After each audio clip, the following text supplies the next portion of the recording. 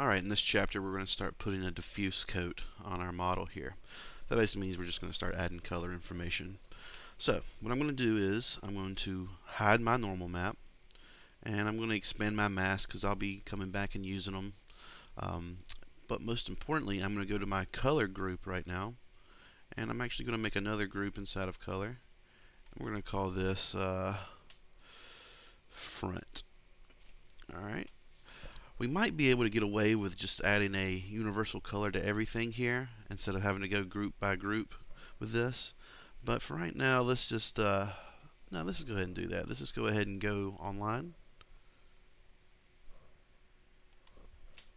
cgtextures.com. Alright, and what we're going to do now is we're going to try to find a nice material for uh, our wall here. This will be by our base material. What kind of material was, is this small wall made out of? Is it made out of some kind of futuristic metal? Is it made out of some kind of uh, weird new concrete? What is this wall doing here? And that's the decision we as an artist need to make right now. Um, I'm thinking, where do we want to do with this?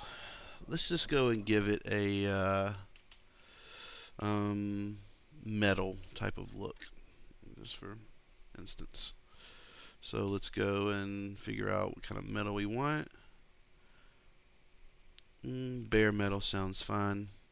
And we don't want we don't want a texture that is full of uh, detail.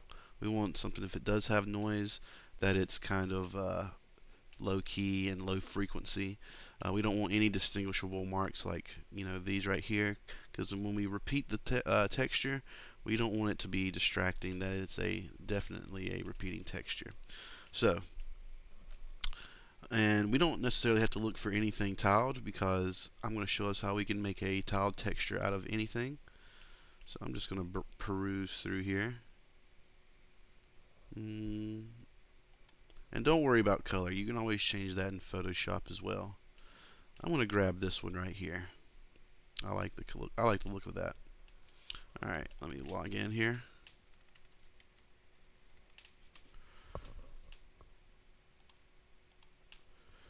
And I'm just going to download the small version. Alright, we'll save this file. Alright, now the burden on making it a repeatable texture falls on us. So we're just going to go to Open. I'll go to my Downloads folder and open up my metal here. Alright, the first thing we got to do is make this repeatable. So I'm going to double click background and rasterize this layer. And I'm going to go to filter, go to other, and I'm going to go to offset. Okay? And let's just pick a nice offset value here. And what that basically does is it shifts the uh, image up here and now the border edges of our image lie right here and down here. So this is guaranteed to be repeatable now because it just shifts the border and center of our image. Alright, so the offset's a pretty powerful tool. Next, we just got to go in with our clone brush tool and just get rid of these seams. So I like picking a, uh, a part of it not too far away because you don't want to have too much of a crazy uh, just you know we to have the same kind of hues and values next to our seam so I'm just picking it up and I'm just getting rid of my seams here. Alright now we have made a successful repeatable texture here. So what we're going to do now is we're going to just select all and we're going to cut it.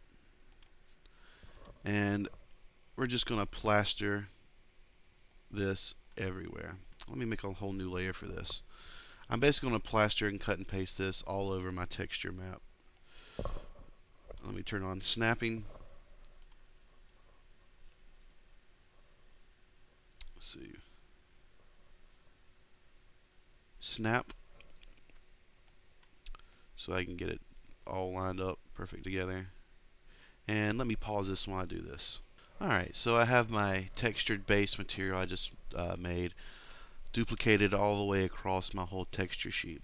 What we're going to do now is we're going to use my mask that I created earlier. Remember my UV Islands mask? I'm just going to right click or control and left click on base mask. I'll select all these UV islands and then I'm going to come down to my textured base, inverse that selection and press delete. So now the texture I just made only lives on my uh, area right here, my uh, UV islands rather. And I think what I'm going to do now, I'm going to go up to my UV and grab my magic select one. I'm going to select right in here because this is a negative space for the window. So I'm going to make sure I don't get confused by that. And I'm going to contract by 8 pixels. And I'm just going to go down here and delete it on my base mask, delete it on my front wall, and delete it on the new texture I just made. Just so we know that that is where the window's at. Alright, great.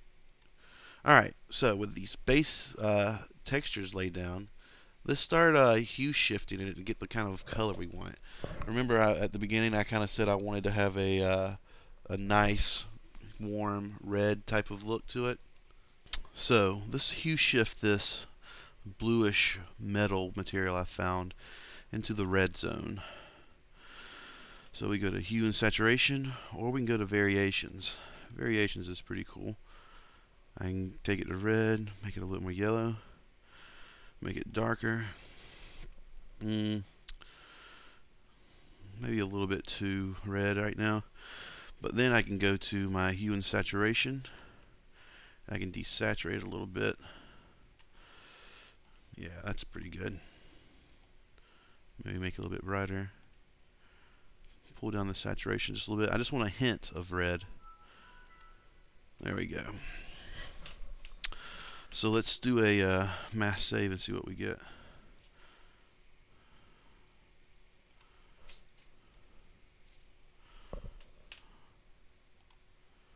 Alright, cool. Now we get that nice red shift. And I'm sort of happy about that. I can't really get a full picture of the final image because I don't have any specular maps on here. But I'm getting my uh, base color like I want it. Alright, so let me go back in and hide all my layers that I have. Alright. So I got a textured base down. Um, next, let's go and find all my recessed areas here. And we're just going to darken those areas because if it's recessed in, if we darken them, it's going to give the appearance that it's inset and light isn't getting into it as much. So we'll make a new layer and we'll call this in. And then what we'll do is we'll just go to my mask I have created here and we'll just go in and select every in I have Let's go to fine detail. I made fine detail on another lecture. It's like these little lines I have drawn in here just to give it a little bit more oomph. So we'll hold down control and we'll, for each one we're going to come in here. I'll reselect those. And on my in, uh, we'll give this like a multiply. And I'll pick like a darker gray and I'll do a nice fill. Okay, there's one in. I'll go to my utility panel, select these ends, go down to my end color, give it a nice dark fill, and I can always go in and adjust the strength and the opacity of this. And I'm just going to go down each one of my masks here and select the ends for each one. Okay do that one.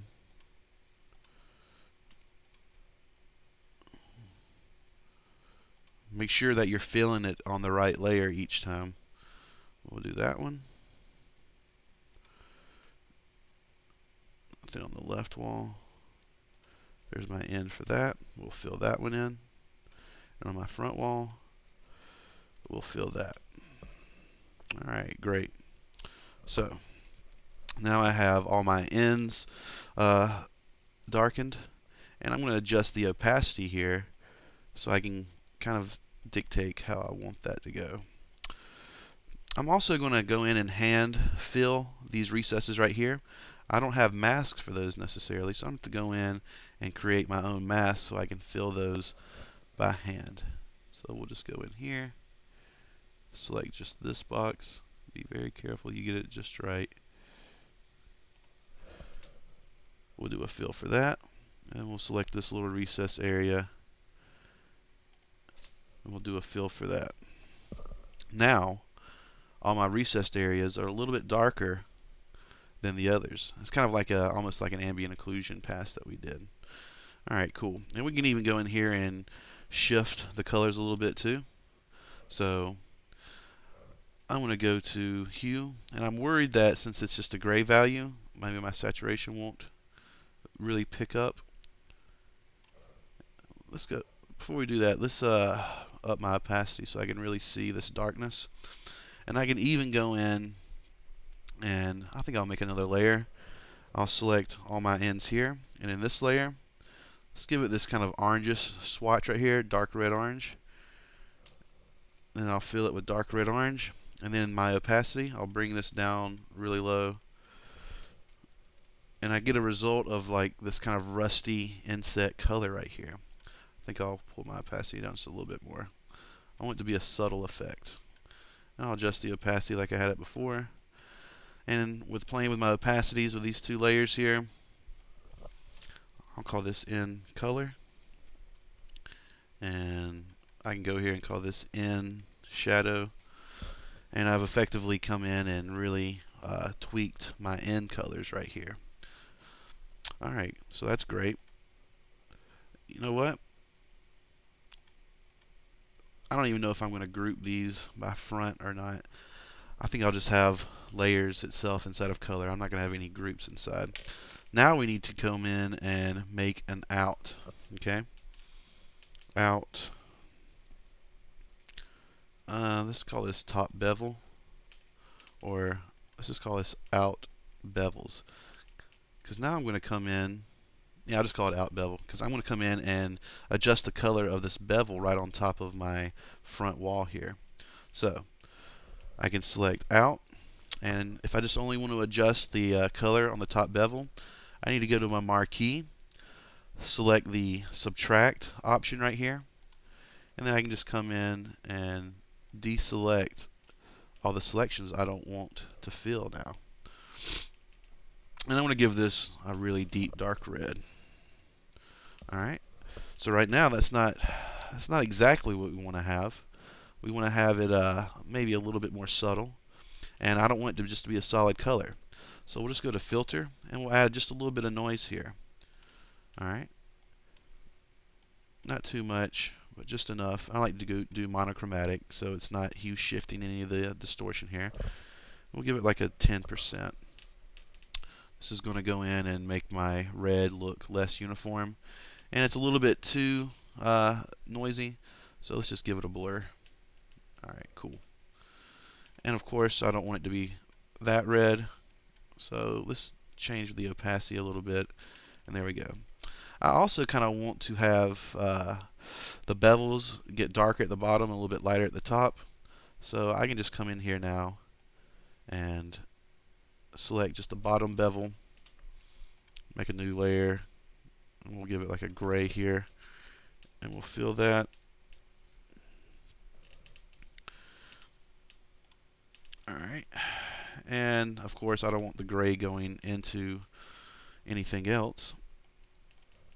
Alright let me just tweak these grays right here. And remember I have it going over to the other side here. So I'll do that and then come in and delete those grays and we'll give this a multiply alright because you know I don't want my gray to be my color I want it just to darken here alright so we'll give this bottom bevel. And we'll make one more layer called mid bevel. And we'll we'll flatten all these together at some point so it's not completely uh, disjointed with all these different layers here. Alright, so we'll do this. And go ahead and give this a multiply.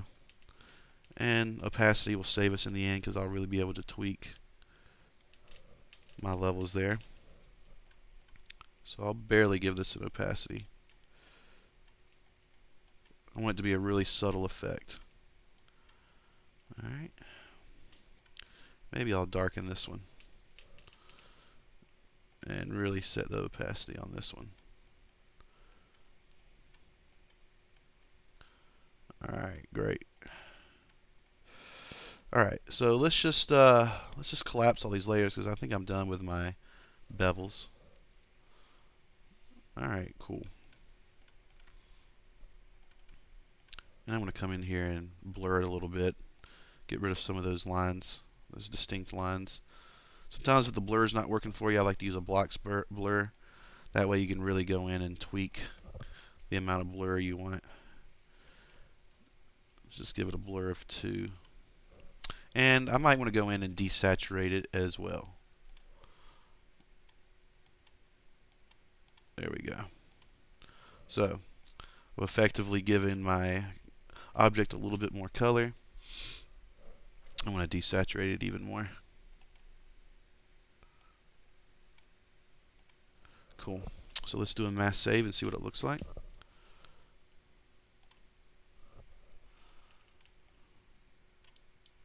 Hmm, okay. My mass save hid that mid-level, so let's just go up to mask right here and then do it this way. There we go. Now I have a nice red flourish on top here. And we're slowly starting to give this guy some color.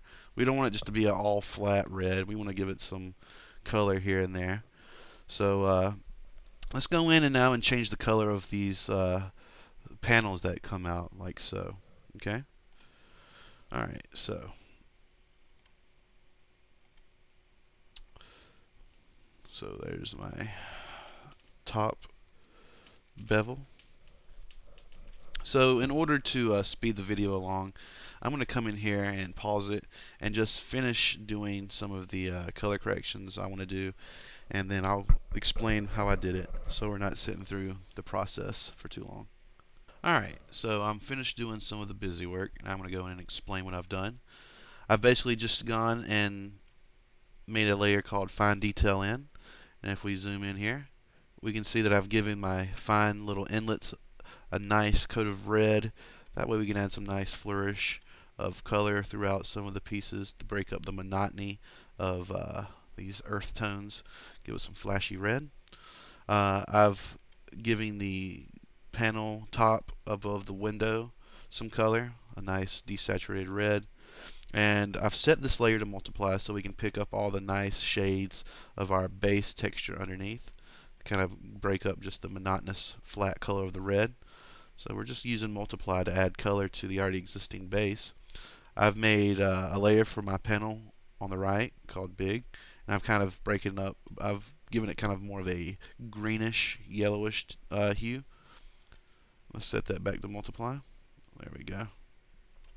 Maybe increase. And I'm looking at both of these panels here and I kind of want them to be the same color, but I can see that this isn't as saturated or as bright. So let me go in and add a little bit more saturation to that panel here. I'm trying to get these two colors to match up, and we could do some color corrections and all that stuff, but I think just by eyeing it, we can get it just right. So I gave it more saturation and brighten it up a little bit. And I've give I've come here to the left panel and given it a flat color, added a little bit of noise to it, blurred the noise.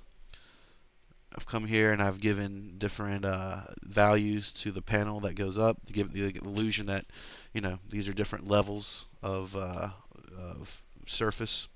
You know, the deeper, lower part is a little bit darker because the top section may be giving it shadow. And uh, yeah, that's basically all I've done. And remember, all my color, solid color layers that I've been adding, I've set them all in multiply. Alright, Let's see how it looks inside of Marmoset now. So I'm going to select mass so my mass save works. Let's see what it looks like here. Alright, cool. Um, I could now go in, this inside of the window area looks a little boring. I could go in and select different panels that I've created here, uh, different colors, so we can break up the monotony of that. Give the players a little bit more bearing if they ever decide to fly through it, or if it's ever used as they fly through. Also, I might want to lighten up or uh, lower the opacity of my fine inset uh, areas right here. I think it's a little too red, a little too distracting here. But for intents and purposes, we're doing good. And whenever you're adding color and texture to your models, really pay attention to the harmony of the whole piece. Um, right now, I don't have a really good balance of color. So I got a lot of color going up here, but this part's just kind of left alone and boring. So maybe I need to rethink what I'm going to do with these parts add a little bit more color. I could come in here and add that same kind of uh, greenish tint to these recesses down in here. That make a make, make a little bit more sense. Um, it'll add a little bit more balance to the color shifts. And also, think about what this object does in the game. Is it the objective that you're trying to go to, or is it just a piece of junk floating through space? If so, this is a piece of junk floating, floating through space. So, why we want to make sure that it's not too distracting, okay? That's why I haven't loaded this thing down with all this detail. Uh, I don't have rivets everywhere and damage everywhere. I have just some basic stuff that add a little bit of interest when you look at it, but it's not too distracting. Same thing goes for when you're adding color to your pieces. Uh, I find that whenever colors are more desaturated and earth toned, that it's not as distracting to the player and it kind of just exists just to be there, pretty much. Because remember, at the very beginning, we decided that this piece of debris, it's just part of the whole. It's not supposed to be your all-inspiring, mega, ultra, perfect art piece ever. So actually, I've decided what I'm going to do to add a little bit more variation to this model. I'm going to come in and actually add green tints to these long downward inlets right here. That'll break up the uh, monotony of this color. And if I keep it that green tint desaturated enough, it's not going to make this guy look too distracting. So I'm going to go in, then my next step is I'm going to go in and pick certain panels in here, add some color to them. I'm going to desaturate the red lines here, and I'm going to go in and add some green tints to these recessed little areas I've made. I'm going to pause it while I do that and we'll come back and see the results. Alright, I made all those changes and we're back to the marmoset to see what we did. Um, like I said, I uh, diminished the red inlet a little bit just to make sure it wasn't too distracting. The biggest change can be seen in these uh, window panels that I did. I even created new normal maps and I had to make a new ambient occlusion map to get them in but I think the results are well worth it. It, it adds more of a, uh, I don't know, inviting uh, visual element. So, you know, the horizontal direction of the panels saying, hey, fly through it this way. You know, it's like saying, come on. And I've even come over here and added a little bit of that green to those recessed panels just to break up the color just a little bit. Now all that's left to do is give the damage some color and then go in and uh, maybe paint in some superficial uh, uh, burns or uh, damage, suit damage. Nothing that we're going to do with a normal map, just break up the variation of the color maps. maybe also give it a grunge map. That'll be the next chapter. Next chapter we're going to dirty it up a little bit. Alright, thanks.